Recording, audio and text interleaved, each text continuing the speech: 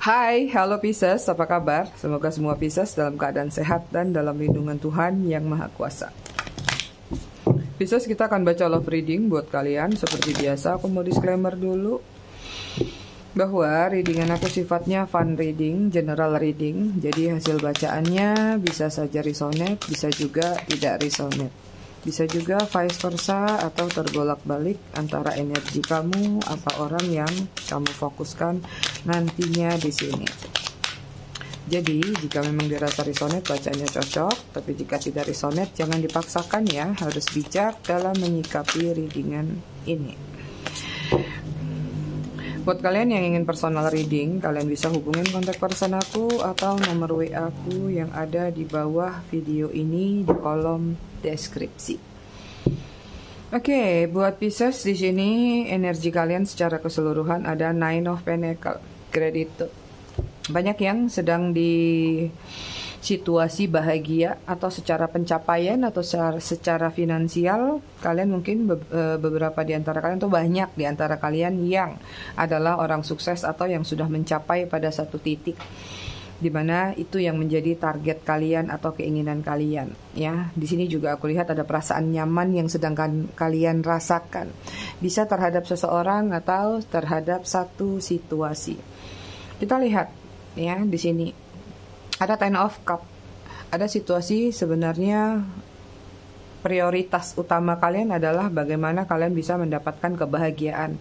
Prioritas kalian adalah bagaimana kalian bisa menemukan seseorang yang benar-benar bisa sesuai dengan ekspektasi kalian.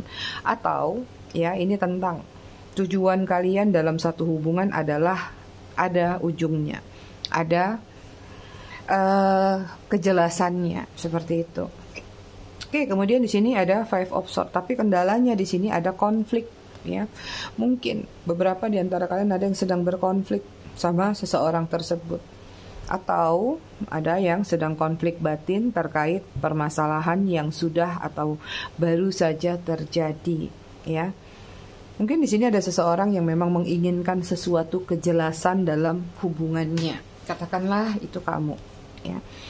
Kemudian di sini ada Queen of the Ocean atau Queen of Pentacle Abundance ya. Ini tentang apakah konflik batin kalian ini ada kaitannya dengan situasi di mana mungkin seseorang yang ingin kalian bahagiakan atau seseorang yang bersama kalian ini adalah seseorang yang mungkin hanya mengejar materi ya. Sehingga way outnya di sini kalian berpikir bagaimana cara bisa berkorban lebih banyak lagi kepada dia asalkan dia mau bersama kalian asalkan dia mau menjadi seseorang yang tulus.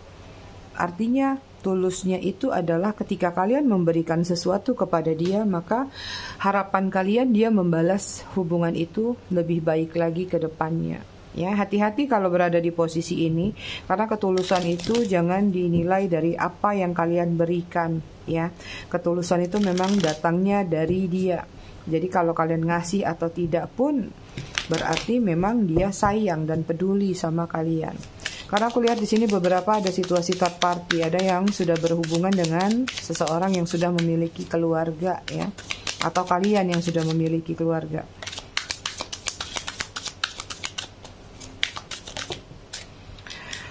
Oke, okay. di sini ada Six of Cup, ada kerinduan, kemudian ada Two of Cup, energi yang tidak bisa lepas satu sama lain.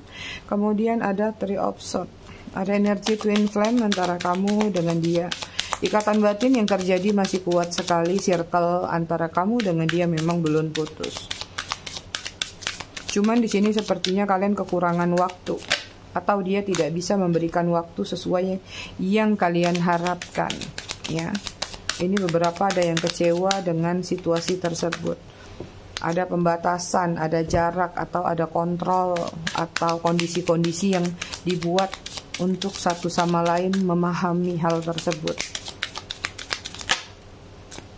Tapi sayangnya berjalannya waktu sepertinya salah satu pihak ada yang menuntut lebih dalam hubungan ini ya Oke, energi secara keseluruhan lagi di sini ada Queen of Swords. Banyak yang sedang overthinking, ya. Sekalipun kalian berada di kondisi nyaman, kalian berada di kondisi mapan, punya kelebihan dalam hal lain, tapi sepertinya kalian agak sedikit bermasalah dengan masalah percintaan.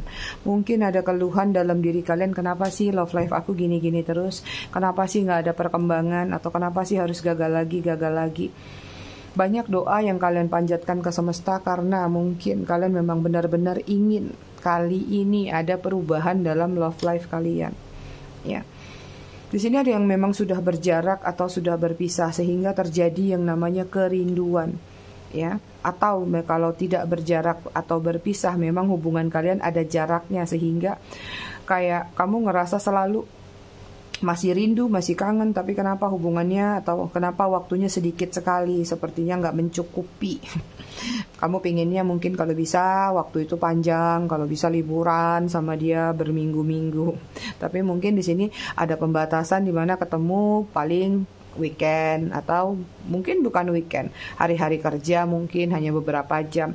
Ada keluhan-keluhan atau keinginan-keinginan memiliki waktu luang, waktu bersama yang lebih besar lagi ya. Karena kayak gini aku melihatnya kayak kamu ngerasa sudah berkorban kamu sudah mm, memberikan mana yang benar-benar pantas buat kamu berikan kepada dia selayaknya kamu sayang sama dia sehingga menurut kamu itu sah-sah aja wajar-wajar aja kamu berikan. Tapi semakin berjalannya waktu ada hal yang bisa dikatakan ngelunjak. Ngelunjaknya apa? Kok makin diberi hati makin dikasih rong apa kelonggaran ya atau dikasih ruang kok kayaknya makin nginjak-nginjak harga diri kamu mungkin atau nginjak-nginjak perasaan kamu ya semakin sesukanya di sini memang energi antara satu sama lain sulit sekali terlepas. Even kalaupun yang sudah berpisah sampai hari ini mungkin masih banyak yang seperti kalaupun mau melepaskan itu sulit tapi bertahan kok kayaknya menderita banget, pingin move on kayaknya kok ke dia lagi ke dia lagi pikirannya itu ya. Apalagi kalau memang di sini adalah situasi third partinya kuat. Kalian berdealing sama seseorang yang memang mungkin menghadirkan orang ketiga atau dia selingkuh atau dia cheating di belakang kamu. Ya, atau kalau memang belum ada ikatan ya katakanlah dia masih challenge atau masih membuat kompetisi dalam hubungan kalian. Artinya, dia belum terlalu menetapkan hatinya benar-benar kepada diri kalian ya. Kemudian ada five of one, selalu terjadi konflik nih antara kamu dengan dia. Ada aja yang didebatin, ya masalah kecil dibesar-besarkan, masalah yang nggak ada diada-adakan, anteng-anteng pun cari gara-gara, gitu ya. Temperance, kamu berdiling sama seseorang yang pemboros atau memang suka poya-poya, suka benar-benar e, menjadi center of point bahwa dia adalah seseorang yang mapan, sukses, punya ini, punya itu, kadang-kadang suka traktir teman-temannya mungkin. Pokoknya dia mau dipandang the best terus, mau dipandang bahwa dia ini memang orangnya kompeten di dalam lingkungannya atau golongannya, ya. Di sini yang kulihat mungkin kamu ngerasa adanya ketidakstabilan dalam hubungan kamu. Dan inilah harapan terbesar kamu adalah gimana sih caranya hubungan ini bisa balance. Banyak cara yang sudah kamu ajukan, banyak cara yang sudah kamu kasih ke dia atau kalian bicarakan atau kalian diskusikan. Tapi sepertinya mental terus sepertinya kayak gak ada titik terangnya. Di sinilah terjadi yang namanya kelelahan atau capek dalam hubungan kamu sama dia. Ya kemudian sini ada four of cup itu dia. Akhirnya membuat kamu mungkin memilih untuk menarik diri dulu ya jedah dulu. Kalian berdilingnya sama seseorang yang kadang-kadang kalau kamu kasih solusi sama dia sulit buat dia dengar sulit untuk ditanggapin. Di sini juga kalian berdiling sama seseorang yang terlalu banyak keinginan. Ambisinya besar ya keinginannya banyak cita-citanya banyak tapi actionnya kurang ini orang-orang yang cuman pingin sesuatu secara instan tidak memiliki kesabaran. Kalau kamu ngajak dia, yuk kita memulai satu hubungan dari zero, dari nol, kamu mau nggak? Dia nggak bakal mau. ya kenapa? Dia maunya terima beres. Kalau cuman susah-susah, buat apa? Aku sendiri juga bisa susah. Itu. Artinya di sini banyak hubungan yang bisa dikatakan dimanfaatkan. Ya. Egoisnya juga lumayan tinggi Apalagi beberapa di antara mereka ada yang terlalu gampang percaya mendengar omongan orang, terlalu gampang termakan teras isu. Akhirnya hubungan ini bisa berpengaruh hanya gara-gara omongan yang tidak dia saring. Seperti itu, Pisces ya. Oke, Pisces kita lihat pesan buat kamu apa.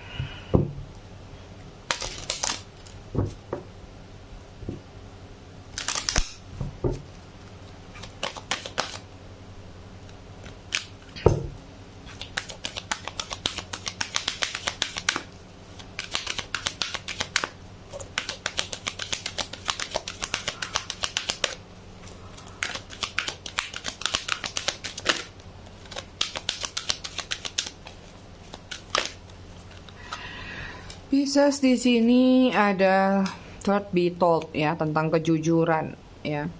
Ada sesuatu yang mungkin sampai hari ini membuat kamu penasaran ya. Kamu ngerasa mungkin ada seseorang yang banyak menyimpan ke apa nih? banyak menyimpan kebohongan sehingga menimbulkan kecurigaan di dalam diri kamu. Tapi di sini yang aku lihat sebenarnya kamu harus bersyukur dengan adanya topeng ini.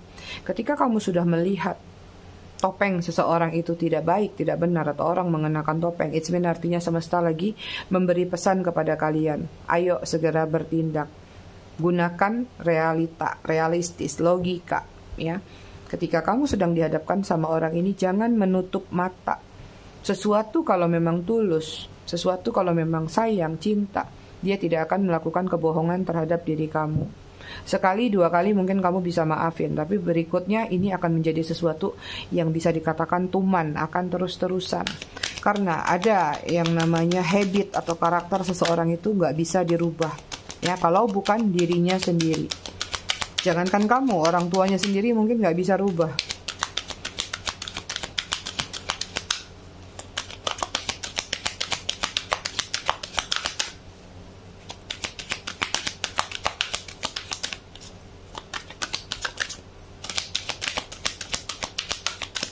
Oke, nggak mau jatuh, aku izin cabut aja.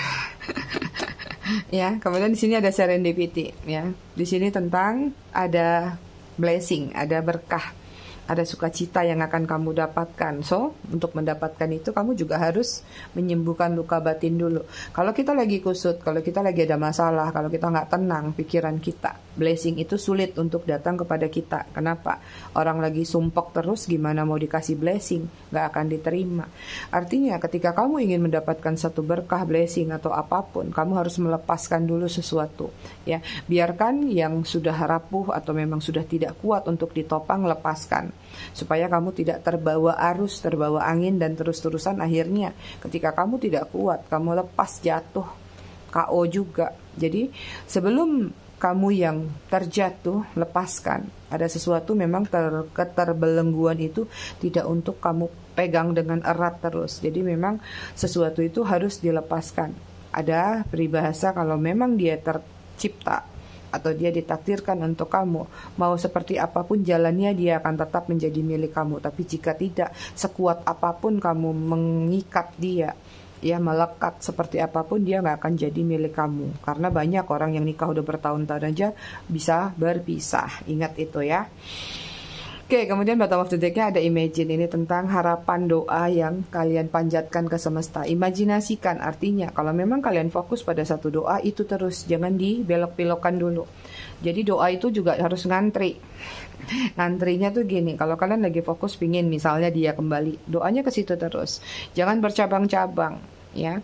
Ini uang mau, cinta mau, ini mau, semuanya mau diborong Semesta juga bingung ngasih kamu tuh prioritasnya mana dulu. Satu-satu dikelarin dulu. Doa dulu untuk apa? Misalnya kekayaan. Lakukan itu. Begitu sudah dapat titik itu, masuk ke titik yang kedua. Gitu. Dan seterusnya. Oke Pisces, aku rasa readingannya cukup sampai di sini. Tetap bijak dalam menyikapinya. Kita ketemu lagi di readingan berikutnya. Terima kasih sudah menonton. Bye Pisces.